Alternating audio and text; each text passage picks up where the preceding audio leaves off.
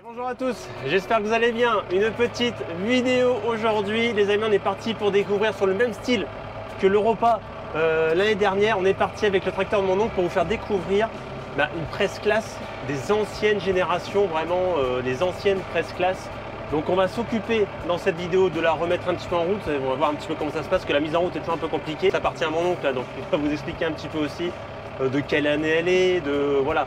Euh, elle a tourné, elle tournait assez souvent. Voilà, tous les ans on l'a fait tourner un petit peu, euh, soit faire un peu de foin, un peu de paille. Mais là c'est vraiment juste pour vous montrer.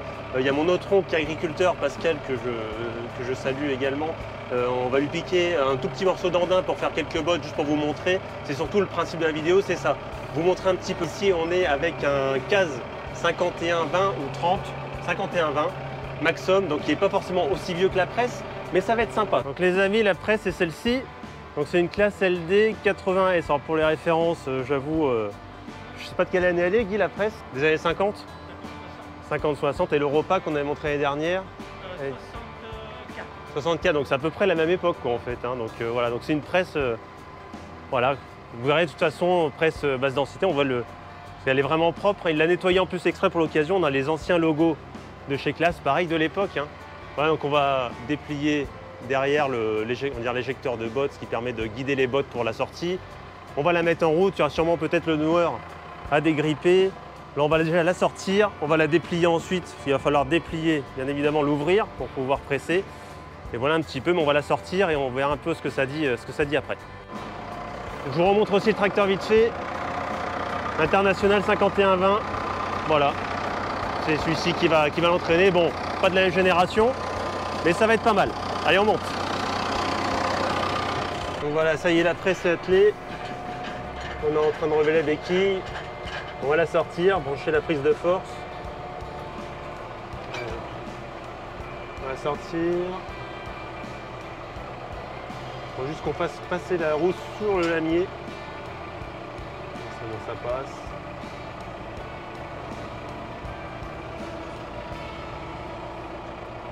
Donc là les amis, on est parti à la parcelle. Tranquillement, gentiment. Donc on va déplier ensuite la machine. Vous allez voir, il y a mon oncle qui est en train de, de moissonner un petit peu plus loin. Donc du coup, ça va être sympa. De, on va essayer de voir également la, la lection qu'il a, la petite, la petite 410. Magnifique lection d'ailleurs. Et euh, bah voilà, le petit ensemble du jour. Voilà, un peu à l'ancienne. Je sais que vous aimez beaucoup les vidéos à l'ancienne, donc du coup, euh, cette vidéo ne pourra que vous plaire. Le repas vous avez beaucoup plu l'année dernière. Et euh, bah du coup, voilà, c'est assez cool. Et euh, on va voir, on va se diriger à la parcelle de blé. L'idée, c'est vraiment d'arriver à faire quelques bottes. Les premières sont toujours un peu compliquées parce que le noueur un peu grippé, euh, quand on la remet en route la première fois, les premières bottes se font pas. Donc chaque année, c'est à chaque fois qu'on s'en sert, ça a toujours été ça. Donc on verra, on verra ensuite comment ça se passe. Mais il y a de grandes chances que ça marche pas les premières bottes, il faudra pas s'inquiéter. Donc là, dans l'idée, mon oncle est en train d'enlever la goupille qui sert à tenir la position euh, transport, on va dire. Et là, il va mettre une cale sous l'une des roues, donc la roue avant droite, si je dis pas de bêtises. Et euh, comme ça, ça va permettre de caler la roue. La roue droite va être bloquée. La... Nous, on va avancer. Ça va pouvoir permettre de déplier la machine. Et après, il va remettre la goupille, euh, l'axe en position, enfin, voilà, dans son position, on va dire travail.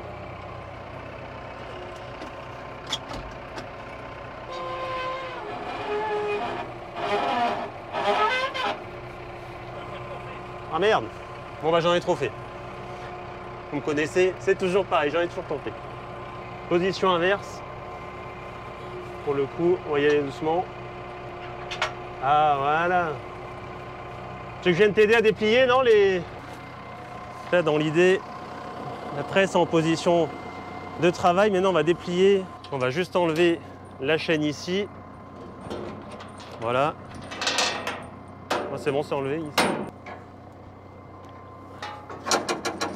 Voilà. On vient de la mettre en position bah voilà, pour que les, les bottes puissent sortir. hein. Donc c'est ce qu'on disait, ce que je disais en vidéo, souvent le noueur, les premières bottes, ça, ça galère un peu. Oui, alors là, j'ai mis du dégrippant normalement. Voilà. Ah oui, t'as également graissé, donc ça c'est cool. Moi, elle a forcément des toiles d'araignée, mais c'est normal. hein. Mais voilà, elle fonctionne très bien. Une fois que c'est lancé, c'est lancé. quoi. C'est les premières qui sont un peu capricieuses euh, à chaque fois au début. Donc on va voir ce que ça dit pour ces, ces premières bottes. Donc là, le pick-up se baisse ici. Voilà. Là, ça devrait pas être trop mal. Impeccable. Ben, On va avancer gentiment vers l'andin. Du coup, ça va être cet andin-là. Et ce qui est bien au loin, c'est qu'il y a un voisin qui est en train de moissonner euh, également. Et là, donc c'est de la paille de blé. Et on va juste faire quelques mètres. L'idée, c'est pas de faire toute la parcelle, vous aurez bien compris. Juste faire quelques mètres pour euh, vous montrer bah, le fonctionnement de la presse. Pour que les bottes soient plus euh, Ouais. plus denses. Ah, ah, pour, pour avoir des bottes plus denses. Ouais. Donc c'est ici qu'on vient. Celui-là, les deux. C'est ces deux-là, ces deux manettes qu'on vient toucher. Il faut faire les deux en même temps, enfin les deux, même nombre de tours. À peu près le même nombre de tours sur les deux pour avoir des bottes régulières dans l'idée. On réglera en fonction de la. Voilà. Donc euh, en général, ça t'y touche. euh, si, c'est. Si, si, si, là, ouais. J'avais desserré. Ah, t'avais desserré, On ok. dessert toujours pour euh, sortir les dernières bottes. Oui, Pour pouvoir tirer les bottes Ouais. et les sortir du canal, on va dire. Donc à chaque fois qu'on l'a fait tourner, celle-là c'était plus pour du foin, Oui. enfin avant les, Ouais. les fêtes, mais on l'avait fait tourner un petit peu pour faire, euh, faire du foin. D'avoir une petite botte. Et ben allez, les courroies et tout, il y avait tout serré, c'était tout, ouais, c'était tout. Bon bah allez, on s'approche de l'andin. Donc dans l'idée, on s'approche de l'andin. Après on va la mettre, on va mettre en route la machine en 540. Donc là, on met en route la prise de force ici, gentiment, parce que voilà, on est sur une machine quand même, hein, il faut pas. Voilà, on a encensé la manette. Prise de force enclenchée, sûr on va monter le régime moteur.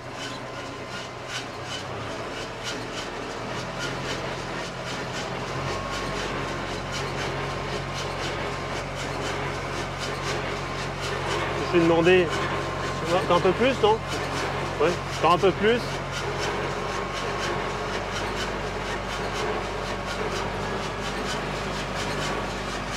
Allez, là on est en première. Et on est parti.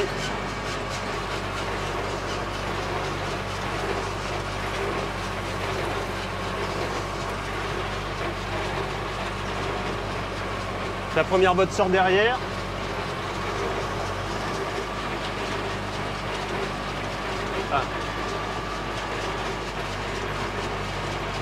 Donc là, mon oncle est en train de regarder si les premières bottes attachent. Pour être sûr que ça attache bien. Bon bah ça va pas. Donc là, en fait, pour vous expliquer, c'est qu'il y a une ficelle qui a lâché sur les deux, tu dis? Donc l'idée, ça va être de la renouer au bâti en la passant dans l'aiguille pour, euh, bah, pour, pouvoir, euh, pour pouvoir reprendre en fait. Donc là, mon oncle a attrapé la ficelle, tu l'as fait passer dans l'aiguille, c'est ça? Et ensuite, on va la rattacher au châssis ici pour. euh, on refait un nœud. Et mon oncle est en train de, de moissonner derrière avec la 410. Et l'autre côté, ça a été nickel il va refaire quelques tours pour resserrer les bottes, sont un peu trop, un peu trop lâches, on va dire. Déjà que c'est pas des bottes non plus qui se tiennent. euh, voilà. Donc là au moins, on va refaire un essai. On va réessayer et on va voir ce que ça dit sur le deuxième essai. Mais ça, bon, ça n'inquiète pas parce que en général, c'est toujours pareil. Les premiers essais, c'est toujours un peu compliqué. On va passer la première. On va essayer de se coller au maximum à l'andin. C'est pas évident de voir en fait, le tracteur est trop gros par rapport à la presse. Et on voit pas où, où est l'andin.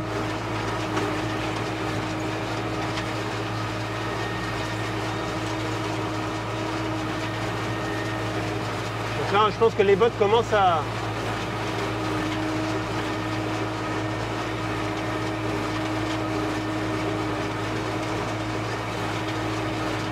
Là, ça a l'air d'aller, je pense. Hein. Il semble que la prochaine est bonne, les gars. La prochaine est bonne, le tonton dit que c'est bon.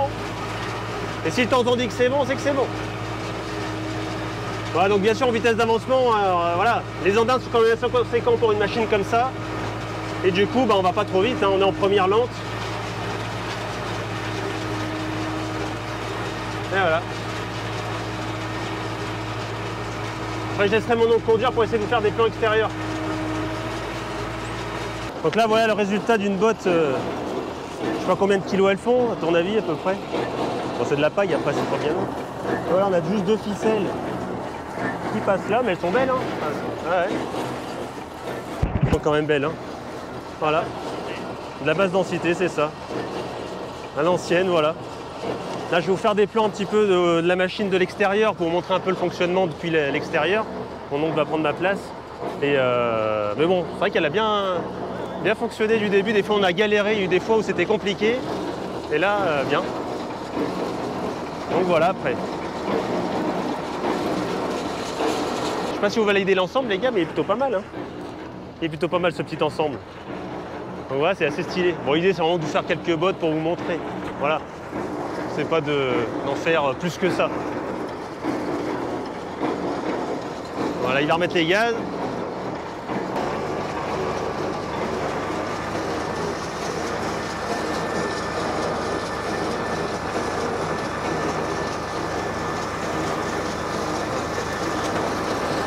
Et là, c'est parti.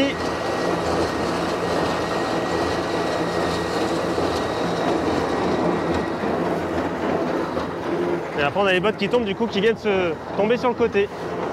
Là, franchement, elles sont bien, elles sont régulières. Là, la paille un peu fraîche, un peu humide quand même. Mon avis, sous l'andin, ça va être un peu frais. Ah, regardez donc, c'est pas beau ça. Voilà. Je sais pas quand même combien d'années elle a, les gars, mais elle fonctionne encore.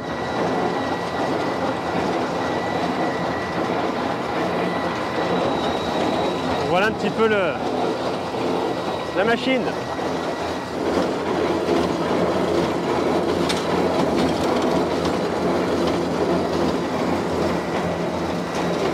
Il y a même des beaux andins devant. hein. Malgré tout, pour la machine, euh, c'est bon, on l'envoie. hein. Allez, c'est pas mal pour vous montrer, on va pas en faire plus. Le but, c'est pas de faire la parcelle, c'est vraiment de vous montrer le, fonctionnement de la machine, en fait. La boîte à ficelles. C'est loin d'être les bobines de ficelle qu'on peut voir sur les presses de maintenant.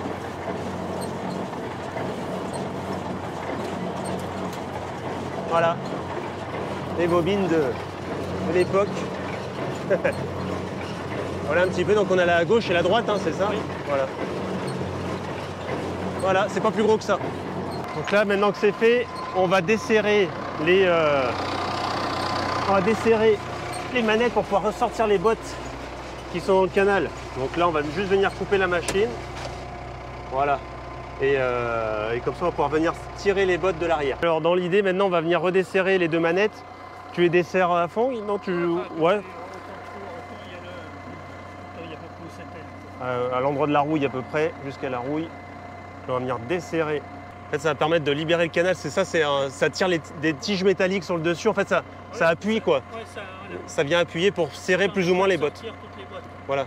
Et là, le fait de décomprimer tout ça, ça va permettre de, de libérer les bottes qui sont dans le canal, parce qu'il y a des bottes qui sont faites, qu'on va venir retirer, et qui sont dans le canal. Voilà, c'est, ça peut être mal là, je pense. Là, bon, les premières vont pouvoir sortir sans trop de difficulté. Et vous voyez le, le bec noueur, du coup, ici. Je ne sais pas si vous le voyez bien, moi je le vois, mais j'ai pas l'impression. Voilà, avec un nœud, le nœud qui est, qui est parfait. Voilà. La technologie n'a pas, pas changé. Sur les presses de maintenant, c'est la même chose. hein. Le- lieur n'a pas bougé. Celle-ci, bah, c'est con parce que le nœud était en train de, le nœud était en train de se faire là sur celle-là. là, non? Alors on va déclencher. Donc l'idée, quand vous avez une botte qui est prête à être, euh, à être faite, c'est que vous arrêtez. Il y a moyen de la déclencher manuellement. Bon, voilà, on va essayer de remettre en route et Oui, voilà, oui, parce que là, ouais, elle est sur l'écran. La botte se fait. ouais. Et quand on enlève l'écran, ça déclenche le liage. Ça, ça déclenche le liage, voilà. Que ce soit une toute petite botte ou voilà, peu importe la taille de, peu importe la taille de la botte en fait. On va juste remettre un coup de prise de force pour que le, le nœud puisse se faire normalement. Ça devrait y aller. Là du coup c'est mon oncle qui va la mettre en route comme ça je vais pouvoir vous filmer. Et normalement on va avoir les aiguilles remontées et le nœud se faire. Voilà. La ficelle, vous voyez, elle est encore prise dans le bec noueur. Je ne sais pas si on voit bien, j'essaie de vous montrer euh, ici. On voit que c'est pris légèrement. Ouais, ouais, bah ouais, elle l'a fait là. Et normalement, en tirant dessus, ça devrait tout venir. dessus, ça- c'est comme s'il y avait une botte qui poussait. Ouais, voilà, ouais. ouais. On va tirer. Voilà, là, ça a lâché. Et là, voilà. La botte est venue. Hop, plus petite que les autres.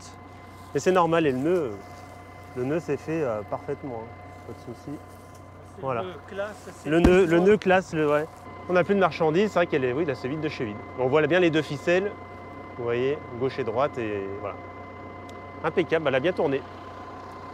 Nickel, on va plus qu'à la ranger, et, et puis voilà, elle a fait sa, sa saison. Allez, la presse est rangée, on dételle, on attelle le, le char pour les ramasser juste les quelques bottes. Elles vont servir aussi à mon oncle, mon autre oncle pour euh, ses poulaillers. Euh, il va pouvoir du coup euh, pailler avec euh, ses, ses poulaillers et, et voilà, donc du coup c'est pas perdu, elles vont servir. On se retrouve, on se retrouve du coup avec le plateau derrière et on va aller ramasser ces, quelques bottes. Voilà, euh, comme j'ai dit, euh, mon oncle les utilisera pour ses poulaillers. C'est pas perdu, donc on a été le petit plateau et on va se rendre euh, à la parcelle pour, pour aller charger tout ça. Bon, ce qui est bien, c'est qu'il n'y a pas besoin de faire un plateau nickel. Voilà. En tout cas, j'espère que cette vidéo vous aura plu. Je vous laisserai avec les, avec les quelques rushs euh, du chargement. Voilà, au moment où on va juste poser les quelques bottes. hein. C'est pas, pas quelque chose de fou non plus. Mais j'espère que cette petite vidéo vous aura plu. C'est pas une vidéo de fou, il n'y a pas des plans de fou. Mais je vous ai emmené avec moi pour vous montrer cette presse-là et ça m'a fait plaisir. euh, à l'heure où normalement, très vite les gars, je devrais aller voir des machines un peu plus grosses de, ce- de cette même marque. Vous verrez ça normalement euh, en vidéo, bah, sûrement semaine prochaine. Voilà, je vais voir ça dans la semaine. C'était un peu la surprise que je vous gardais. Et donc voilà, vous verrez ça. Je dis pas plus. Allez, je laisse là-dessus. Prenez soin de vous. Et moi, je vous dis à la prochaine. Ciao les gars.